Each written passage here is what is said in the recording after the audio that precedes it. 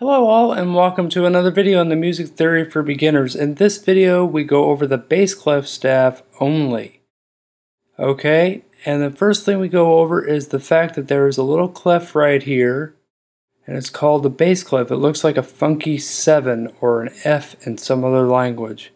And it's got two little dots right around the fourth line of the staff. That is because that is where the note F is. And you could see right here in this little diagram, I already have the note heads named. This is the F note that they're talking about right here.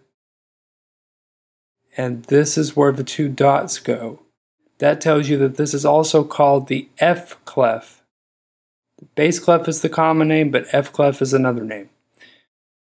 And in, I guess, ancient times or past times, they used to just do F clef for bass clef and G clef for treble. They used to call that. And there's also all these other clefs that we're going to get into later um, that are less common and are not actually commonly used today. But for the sake of simplicity now, this is called the bass clef and this is how you write it. You kind of go dot at the front, swirl around like a half circle, and then you put the two dots around the fourth line of the staff. That makes this the F clef or the bass clef. So I'm going to keep this little document in the resources section just so you know because as you can see it has all the notes outlined for you. The bottommost note G, next one A, B, C, D, E, F, G, A, B, and this right here is middle C. And then I take middle C and go all the way back down.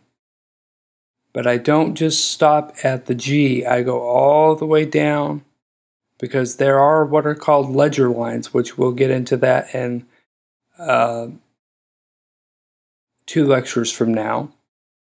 And what we'll do is we'll discuss what is below the first line G, and that is F, E, D, and C. And you'll notice that the musical alphabet keeps repeating over and over and over, and that's why part of the reason why there are ledger lines, just to keep going, because in piano music there's 88 keys, so you'd have to go over all the clef and all the range of the piano, which is in total eight octaves. But for this, you just need to know that this is the G that it starts on. It goes up to middle C, goes back down to the G, and goes a little bit past it. But that's where this is. And I will keep this in the resources section. Also, there is a worksheet that I want to give you um, that I am in the current process of making for the course that I will put in the assignment section. So the assignment for this is number one, take a sheet of staff paper if you have some around and start practicing drawing the bass clef. Just like you would practice drawing the treble clef, practice drawing the bass clef. So practice drawing that clef and practice it until you get it. And then assignment number two is to take this in the resource section and go over it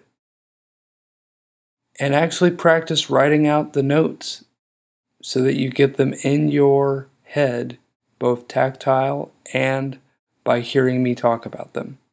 Okay? So, if you have any questions, hit me up in the Q&A section and until then, I'll see you in the next video.